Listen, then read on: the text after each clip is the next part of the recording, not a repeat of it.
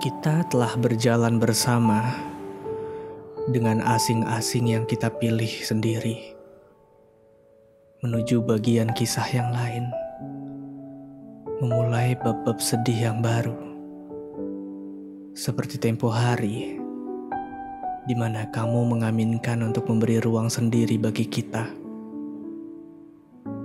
Angin malam memadatkan ceruk antara gelap dan hujan-hujan yang murung.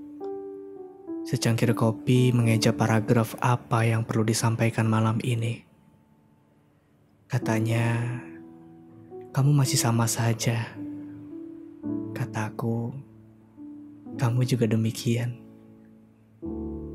Kamu duduk terdiam, matamu melukiskan perjalanan jauh yang tak kunjung sampai.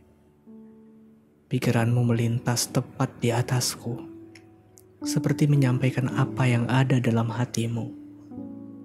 Sayang, aku ini harus bagaimana?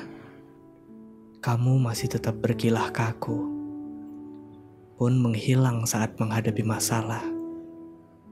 Lalu dengan mudah kamu bertanya, mau bagaimana? Kamu ini perempuan dengan tipikal seperti apa? Dari kisah-kisah lampau yang pernah kujalani, tidak pernah serumit denganmu. Setidaknya aku dan kita yang dulu bisa menyudahi masalah dengan mudah bersikap mengalah dan berhenti menilai siapa yang paling salah. Maaf jika sekiranya aku kurang mampu memimpinmu menjadi sosok yang lebih baik. Berikut dengan gagal mengajarkanmu bagaimana seharusnya kamu. Rasanya tak perlu kujelaskan dengan paragraf tentang kamu yang semestinya.